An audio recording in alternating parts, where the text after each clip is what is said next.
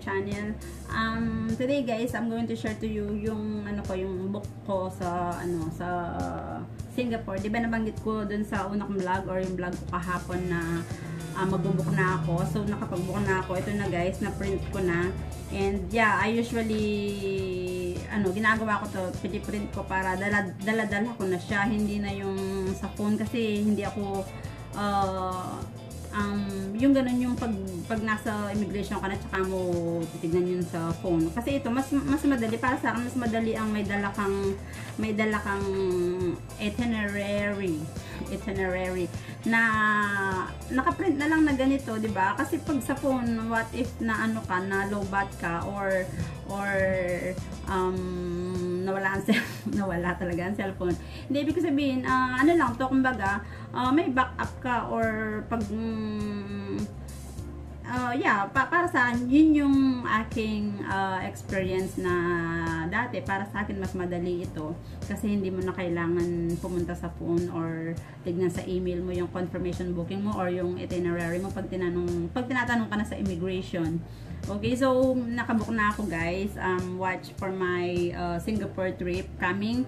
Malapit na yun guys soon. Um, excited ako kasi this is the first uh, trip ko na na magba-vlog na ako kasi yung mga recent or yung mga previous ano ko yung mga previous trip na nagawa ko yung sa Macau, Hong Kong, yeah, Taiwan. Hindi ko hindi ako ma, hindi ako nakapag-video or hindi ako dahil di pa ako nagba-vlog noon. More on pictures lang ako.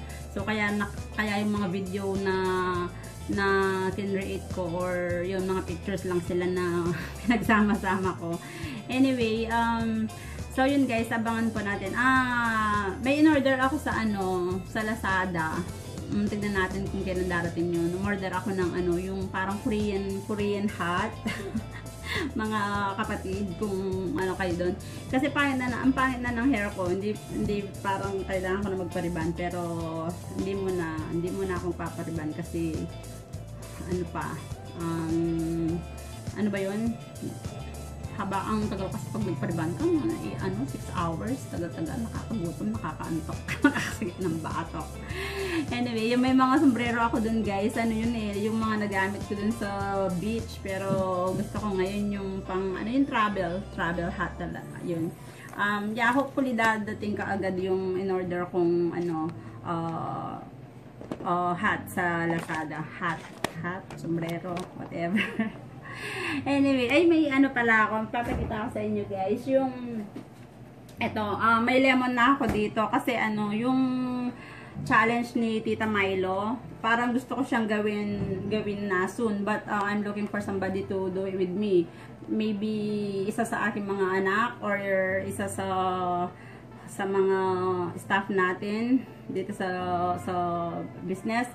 Um, yeah, kung may suggestion kayo guys or or yung kaibigan ko, hindi ko pa alam kung sino ang uh, ang pwede kong ma-invite to do this challenge. Kasi tat, uh, tatlo ito.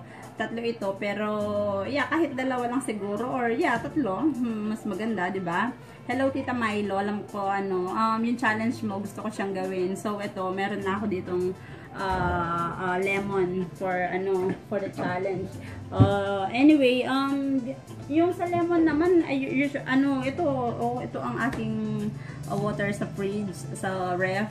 Lagi akong umiinom nito pero hindi ko pa siya nakain ng solid yung uh, hindi daw pwedeng lagyan ng salt or something with that. Uh, kain mo lang siya ng uh, solo or yeah, ganun. Tignan natin guys, wish me luck. Sana ma, ma mga matapos ko yon yung challenge na yun, gagawin ko yun. Hmm, sana ano, today, kasi hindi naman masyadong busy ngayon. Uh, dahil pumasok na ang ating empleyado, kompleto na sila. So, okay na kasi hindi mo na ako pupunta sa ano, sa sa planta. Planta. Watch for that guys. Um, yung business na gusto kong i-ano sa inyo, i-share. Makakatulong yun sa mga gustong magsimula ng business.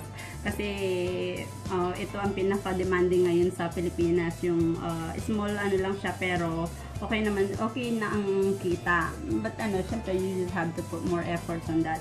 Kasi one and a half year na ako dito sa business na to. Uh, uh, um, it's, uh, it's still growing, it's still growing and it's still, I mean, yeah, it's growing and it's getting getting better and better and better.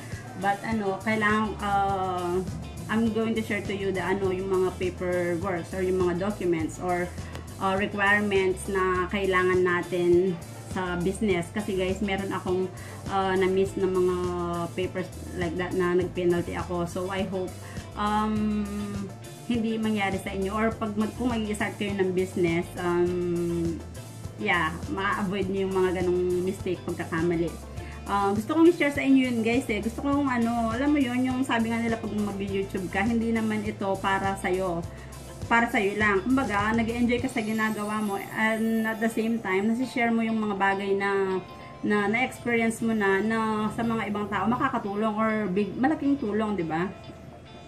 Like ano, like yung uh, may mga ganito ako, may mga books na ganito dahil wala akong bookkeeper. So yun, isi-share ko yun guys kung paano, yung kung paano mo magagawa ng sarili mo lang, hindi mo na kailangan mag-hire ng bookkeeper dito uh, pag nagbi-business ka na maliit lang naman ang business. And then, what else? Yung mga na-miss ko na, um, yun, yung SSS, yun, nagkamali ako doon. Hindi ko siya na-register kaagad yung business. So, nag-penalty ako ng bonggang-bongga. yeah, pero, uh, so far, so good na ngayon. Um, ano pa ba ang ma-share ko? Um, watch for more video, guys. Ang dami kong gustong i-vlog. Ang dami talaga. Kailangan ko na magsulat ng kung ano ang i-vlog ko Uh, gusto ko mag-vlog everyday. Gusto kong may na-share ako sa mga ating mga kapatid or sa ating yeah, sa lahat. Um, gusto kong na-share ko yung mga yeah, yung mga bagay nga na nagawa ko na na baka makatulong sa inyo. So, that's all for today's vlog, guys. Parang ano, wala bang wala akong main subject na ginawa.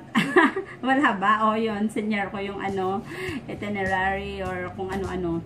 Um, watch for more video guys and please don't forget to subscribe if you are new to my channel. Welcome. Um, thank you for the uh, co-YouTuber there, mga vloggers na um, sumusuporta. Um, thank you, thank you for the love and I'm I'm glad, I'm happy to get that ano 200 subscriber for uh, 7 days. So I'm it's uh, this is my second week na sa channel and looks like it's getting good and hindi ko na-expect yun na ano, ganun, ganun kadali. But I um yeah, thank you, thank you guys. Um I really appreciate it. And um yeah, that's all for the vlogs today. Thank you very much for watching. Don't forget to subscribe and click the bell for you to notify or so that you will get notification when I will upload videos. Thank you guys. Till next time, this is Esme and this is my adventure. Bye!